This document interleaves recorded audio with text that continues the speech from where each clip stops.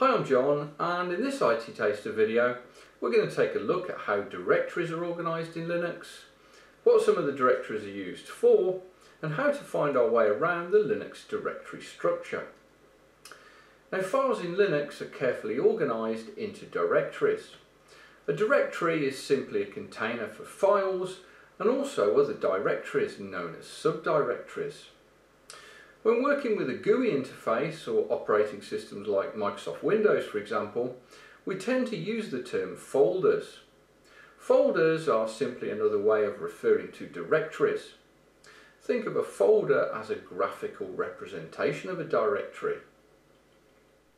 I'm going to begin by opening the GNOME terminal emulator and the shell prompt immediately tells me that I'm logged in as a non-privileged user by displaying a dollar sign at the end. And the tilde symbol after the username and host name tells me my current location in the directory structure is my home directory. And we can also use the command pwd, print working directory, or sometimes referred to as present working directory, to tell us where we are in the directory structure and if I press return the pwd command tells me my current location in the directory structure is slash home slash John. John is the name of my home directory which is a subdirectory of the Linux directory called home which is where users home directories are stored. Now if I type ls the list command and press return it will display the contents of my home directory. And as you can see there are a number of subdirectories within my home directory. For example desktop, downloads, pictures, videos, documents and so on. All indicated in blue in the terminal emulator. And there's also a file called specifications shown in white. The Linux directory structure is organized into a tree-like hierarchy, known as a directory tree. And it's important to know how a typical Linux directory structure is organized and what some of the main directories are used for. So let's begin by navigating to the very top of the directory hierarchy, known as the root directory.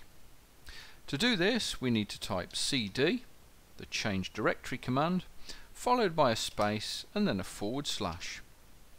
The root directory is simply represented by a forward slash. And notice that the shell prompt has now changed from the tilde symbol to a forward slash to tell us we're now in the root directory. The root directory contains all of the Linux directories and files. And if I type ls to list the directory contents and press return, we can see the main Linux directories shown here in dark blue. I'm going to quickly run through some of them before we move on to give you an idea of where things are in Linux. I'm going to begin with the bin directory. The bin directory contains binary files or binaries. These are mainly command line programs. And if we take a look inside the bin directory, we can see some of the many command line programs. And commands like uname for example can be found here.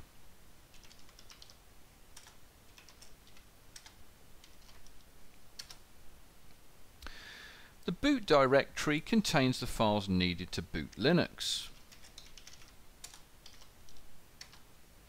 And this is also where the Linux kernel, the core of the operating system, is located.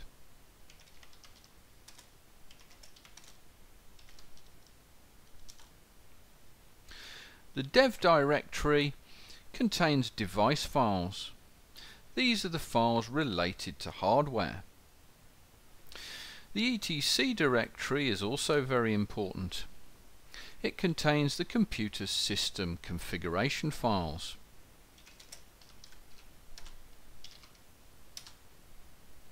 And from here we can take a look at the hostname file for example.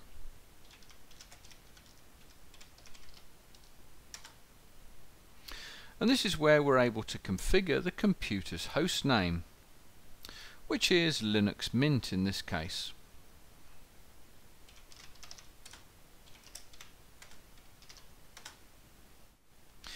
The home directory that I talked about earlier is where user home directories are located.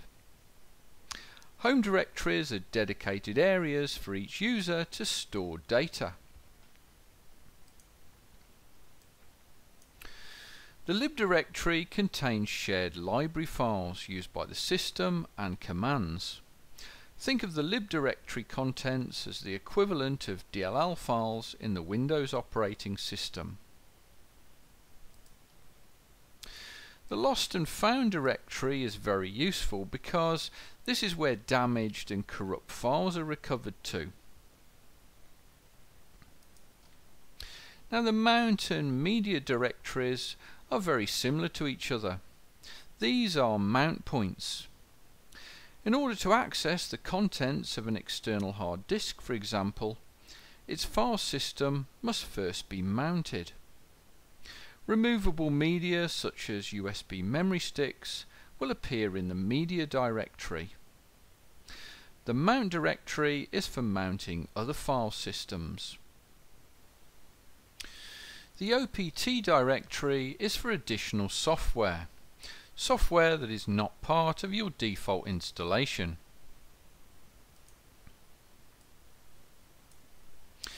The root directory is the super user's home directory. The root user is the equivalent of an administrator in Windows. But don't confuse the directory we see here, called root, with the root directory that is the top of the hierarchy, represented by the forward slash.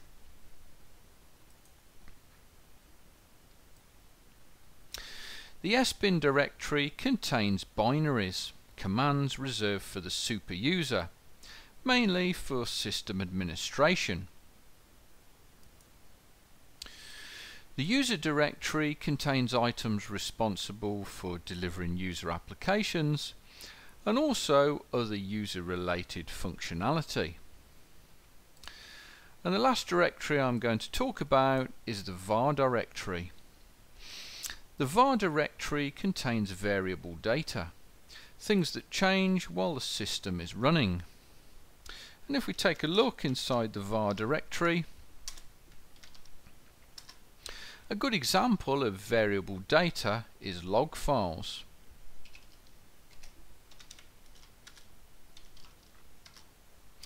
And here I can display the contents of the syslog file for example.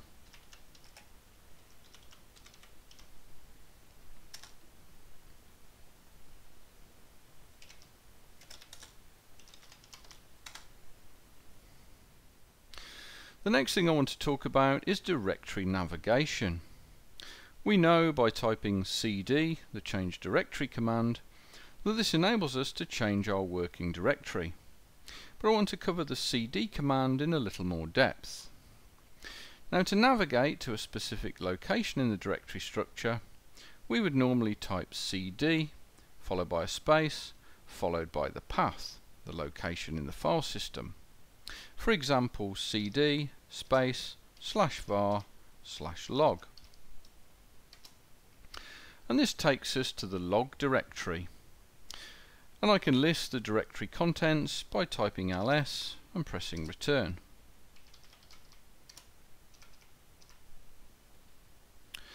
Now by typing cd followed by the path slash var slash log, this is what is known as an absolute path. An absolute path begins with a forward slash, the root directory, and it is the full path to a particular directory, starting from the root directory. This example tells us the log directory is a subdirectory of the var directory, which is a subdirectory of the root directory. So no matter where you are in the directory structure, you can go directly to any directory by supplying the full absolute path. There's also another kind of path called a relative path. Relative paths don't begin with a forward slash. They're relative to the current working directory and not the root directory. If I list the contents of my current working directory called log, it has a number of subdirectories shown in blue. And I can navigate to these directories and also any subdirectories within them using a relative path. For example, if I want to navigate to the Samba directory, I can type cd space followed by a dot, a forward slash and Samba. The dot means the current working directory and this takes me into the Samba directory. The Samba directory is now my current working directory. If I now type cd space followed by two dots this means change to the parent directory of my current working directory. Go back one step up the directory tree. And this takes me back to the log directory again. Now the other method I could have used to navigate to the Samba directory is to simply type cd space samba without the dot and without the slash.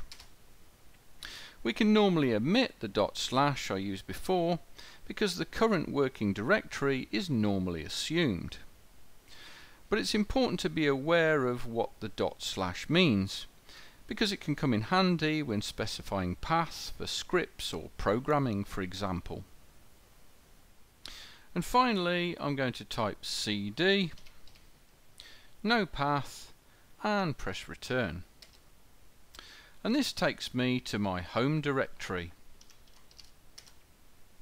This is useful to know because no matter where you are in the directory structure, typing cd without a path and pressing return will take you directly to your home directory. Well that brings us to the end of the video and I hope you found it helpful. Please don't forget to subscribe to the IT Taster channel if you haven't already. Your comments are welcome and thanks for watching.